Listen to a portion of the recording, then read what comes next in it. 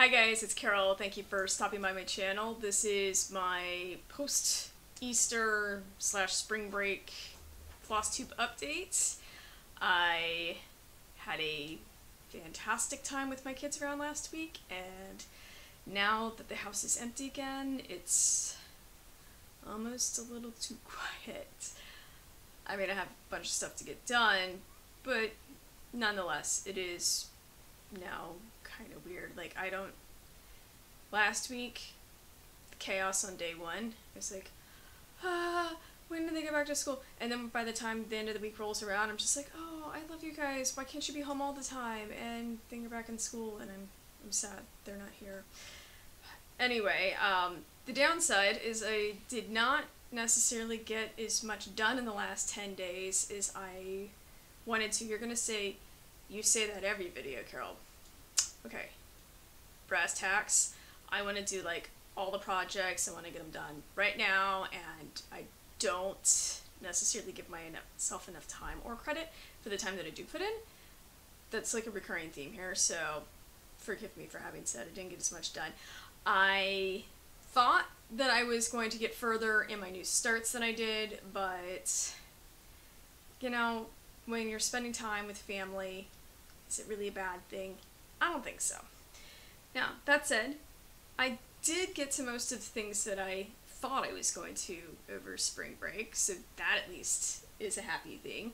So let's just go ahead and start with the first of my WIPs, and in this case it is Mirabilia's The Stargazer. And I had said in my last video that I was planning on finishing out her ribbons, and guess what? At least I did finish the hair ribbons. So, here she is last time. Is where we are today. I love this project so much. She's just fantastic. Everything about her is amazing. Um, so I have indeed finished these ribbons and started filling in the holes down on the ribbons that are attached to her backside. I don't know why she has ribbons on her butt. I'm sorry. Like, I probably shouldn't say it like that, but just staring at the pattern, that's what I'm thinking of right now. Anyway, I am really stoked. Basically, everything above her waist is done with the exception of the beading. No, just, there's a tons of beads up here. Not really worried about that. I just happy that she has a completion. That's it's important to me. So, I am hoping to come back to her, but probably not this week. But I did get to those ribbons that I've been trying to get done for the last month. So that is fantastic. So the piece that got the most time this week is Mirabilia's Autumn Queen, and this is what the pattern looks like. Here's where she was last time. Check out where she is today. I have really made progress on all this cloak right here. Added in some, almost trying to fill in from this side. Even put in a little bit of the whisper here. Isn't she gorgeous? I love this project. I love this one so much. She has just turned out to be an insane amount of fun. I don't it's funny just because when I realized and started stitching how many of this is really like the dark brown and all the various bronze tones associated with well the cloak and then the whatever this edging is supposed to be and so it's it's funny I think of her as she's wearing purple but so much of what you're really working in are yellows and browns which are not my favorite to stitch honestly but look at how awesome she is. I heart this project so much. Like, every time I think, oh, I'm to work on something else, and I'm back on this one. So, since my last video, she got picked up for, I don't actually write down, like, how many days I work on stuff. So, when I say this, I'm half the time trying to remember. Um, I think it was four days. Some of them were really small, maybe a hundred stitches a day, but other days I was, like, really finding my groove, and I am just stoked. I love this so much. I, I know the pattern's out of print. I know it's a pain in the butt to find, but I really, really recommend it. Now, those were my you've seen before WIPs. I apparently got a bad case of starteritis over the last week and a half, and I mean, I guess that falls in the realm of sorry, not sorry, but it means that they're not necessarily as far, like, I don't have a huge amount of progress. So I had shown this kit last time, it's called Start Doing, and I don't know why, I was, I guess it was, I was like, hey, I bought the kit, I was almost feeling a little bad about the whether or not I'd like it or not. So I was like, you know what? Open it up. Start it. What's the worst thing that can happen? Well, nothing bad, apparently. Um, so I have finished the word dreaming here. So it's stop dreaming, start doing it'll go down here. This is a 14 count uh, Navy Aida. I have not stitched on a dark fabric in forever. I actually really like the effect of the white letters on the dark fabric. It suffers from kind of the same problem that you get like with Autumn Queen where I'm trying to do color DMC 3371 on white fabric where you're railroading to make sure you get as best coverage as possible. Well, I'm now doing the same thing with this white on the navy. And it's at some point going to actually have like aqua blue around all this. But for the moment, I just, I love how much the lettering stands out and the cool thing I will say that I discovered, because I said I wanted to do this because I was looking at some typography type charts, each letter completion is like, it's because it's an element that's finished, there's a lot of rewards, at least for me. So every single one I did, I was like, yes, this is awesome. I will say though, this kit has like all of this is getting backstitched. Guys, don't leave backstitching to the end. If you, as soon as I get like I won't do it now because I have to do X's next to it, but as soon as you have a spot where you can start putting the back stitching in, get it done. When I was a kid, I would wait until the very end, and then it's like a slog because some of the patterns I had when I was a kid, they were really back stitching intensive. And if you save it for the end, you're like, I'm done. The picture is there. Do it as you go along. Just pro tip. Um, but this is, like I said, it's way more fun than I thought it would be, and I don't know, I'm impressed. Considering it was a $4 kit, like, this could have been way worse. Now, at least that start looks like something. My next starts, mm, maybe not so much. So, it started with Fruit of Plenty, which is the Modern Folk Embroidery Stitch Along from 2021. And I started with January. It was the right answer. Like, I I know I was like, oh, I really want to get to. Well, I have I measured everything from the upper left corner, so I had to start with January, whether I wanted to or not. So this is January. April is somewhere down here. I don't know if I will get down here before the end of the month.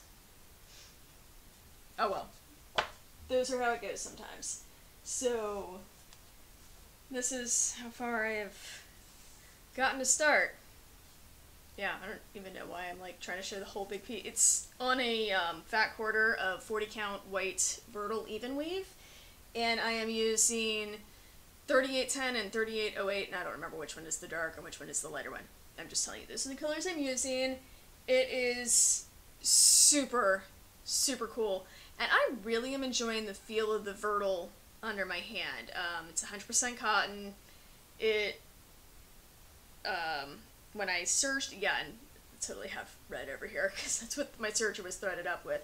But um, it didn't feed very evenly through the serger, like from a machining standpoint. And I noticed because I got this from 123 Stitch and they serged their theirs had kind of like the same problem. But as far as I put it on the ironing board today and just went over it really fast to try to get out some of the creasing, and it irons beautifully. I love it in hand, and I can see all the holes pretty well in good daylight. So, I mean, I was able to stitch in this with my contacts. It was actually easier with my contacts than with my glasses. So, I'll take that as a win. Um, obviously, so you can see, I'm just really, I am in this very upper left corner. Um, I am going to kind of preference coming down here. Basically, the idea is to get to April and start working across and fill back in. Um, I know I said that I thought was really hoping to be able to get this one done in 2022. Okay, that's not going to happen. I'm just going to go ahead and give up right now and say there is no way I'm going to get this done this year.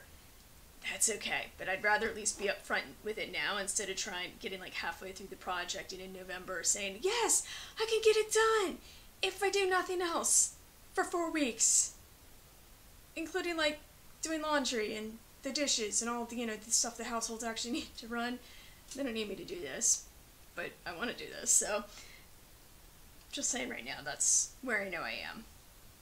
So, uh, I cut my one piece of even weave, and I was like, well, in for penny, in for pound, went ahead and started a family patchwork sampler, which was the Modern Folk Embroidery Stitch Along for 2020, and also started it. It's an even smaller start, so. Sorry, like, I have, I know, three starts, super awesome, but they are all super tiny, if I can find the start to this one. Okay, here it is. Oh, yeah, that's right. And this one is also on a landscape orientation, not a portrait.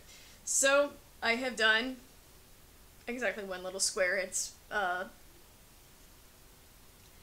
17 by 17. Yep. Awesome. Go me.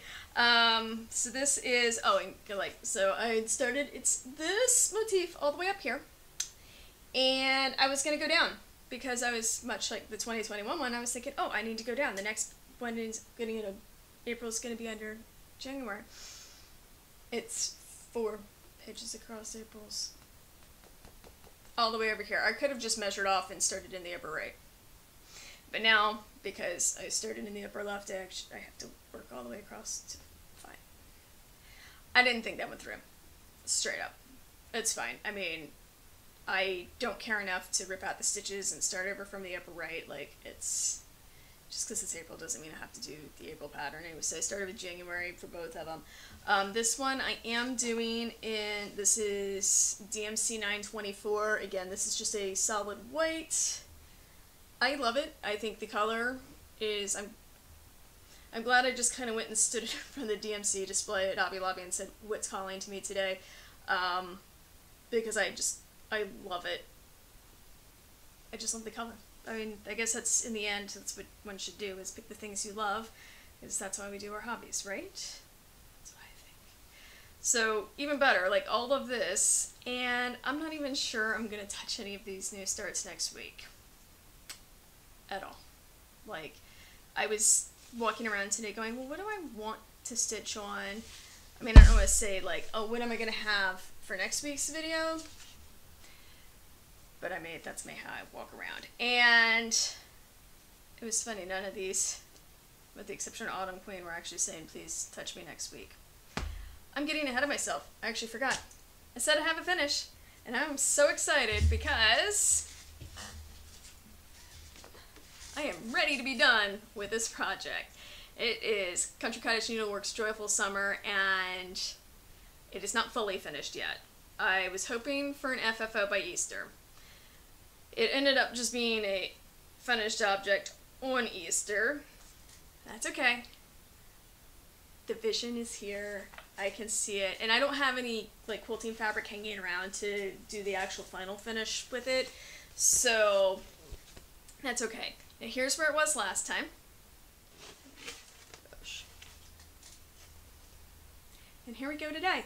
So I, I don't even like I don't know what much to say. It's it's done. Um, the big thing I discovered, I am terrible at French knots. I haven't done them for years, so um, I had to go look it up. The one, the first book I looked at did not give me good instructions, and I kept basically just messing up the knot. Um, I ended up pulling I directions from a dimensions kit. They were it was a better one, so um, I can't say that the tension is great on all of the knots. Like some of them are a little, like this one up here is a little loopy. Whatever. Um, what I have figured out about this is it's just really not quite to my taste. It's adorable. I love, I love how it looks now that it is done. But it straddles a weird line in that it's not monochromatic so it requires me to think about what color I'm messing with. But at the same time, it, there's not enough detail. So for these leaves, it's really depending on like any of the variation is being done by well the variegated threads, and so I kind of got a little tired of trying to just manage those to make them line up with how the the leaf works. Although I am kind of proud with how I did. Like this is super cute. And I was working like I kept all the lines on this along the long axis of the petals. Like I put in the effort. It's just they weren't necessarily what I would have picked if I were walking around trying to pick out a pattern. Yeah, that's it. My daughter thinks that this is absolutely adorable, and it is going to be so fantastic once I get it done and up like on her door so she can have a little more decor. So I'm, like I said, really happy it's done. And isn't it cute? Like I said, just because it's not necessarily to my taste doesn't mean that I didn't, in the end, enjoy the finished product. So this is my first finish of the year. Hopefully it's not my last. Now, that said, what am I going to work on next week? And I was thinking to myself, like, maybe I should, like, have a really, really good plans. And I was like, no, I mean, after being really, really structured for March, I've been a little more loosey goosey as far as what I feel like doing for April. But I was walking around and thinking, like, well, what do I want to work on? Because while I have deeply enjoyed Autumn Queen, I'm like, uh, she's got a lot of work on her. Like, ready to maybe see something else. And then, I don't know, it's just kind of like what's calling to me for this week. And it's basically not dealing with any of the new starts. At least I don't think. And if you see my news, those new starts again next week, it's because I changed my mind. I always reserve the right to change my mind. So what I was thinking of, with it being springtime, although it doesn't feel like it today because it's kind of cold and windy, but I was thinking, dreaming of tulips. I have exactly one tulip in my garden, and it's the petals are all gone. Sad. And they're my favorite flower. So I thought this would be really cool. I have not touched it since May of 2020. I did, I think, a day and a half on it. It's a brand new start then, and I've done nothing with it. So I was like, this might be a good idea. So this is what it looks like right now. Let me see.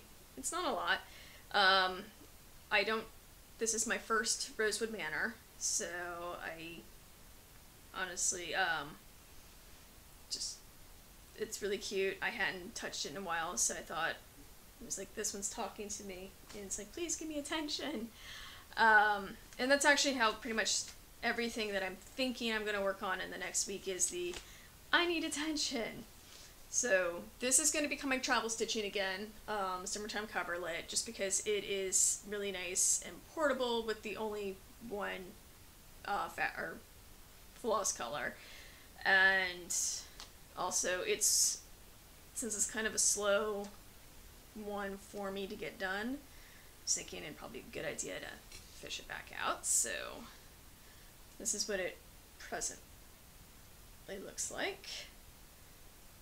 And um, like I said, it, it's going to become the travel stitching, so I think, I don't know if um, CCD picks up after church again next week or not, but I get travel stitching for me right now is about 45 minutes every Sunday, so that would be a piece to go back to. Um, my I have I'm not really big on the idea of focus on a finish because I have noticed if I pick a project and say this is the one I'm going to get done, I become avoidant about it. It's almost like I don't like to finish things. I don't know why I don't like to finish things. Particularly when I already know what they are. Um, I mean, we, we know what these are. Okay, and I'll even say so. It's going to be a prairie, the Prairie Schoolers, a Prairie Garden. It's going to be my intended next finish but if I say focus on it, I'll just never pick it up. Um, I know I'm the type of person I don't finish TV shows. I don't like to finish novels. Um, I don't finish video games, and I'm a completionist, so like video games literally never end, ever. Um, but it's almost like the idea that if it's done, then I lose all the joy of continuing to work on it. I don't know. I like I like having WIPs. I don't necessarily love having finishes.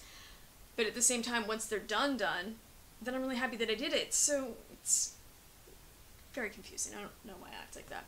Anyway, so this one is probably my next finish because I am trying to kind of catch up on again those 2019 goals. Um, if you want, you can go back and watch the old video. It's we'll call it potato quality. That's what my kids call my cell phone, and that's how old it is that I didn't even have a good camera.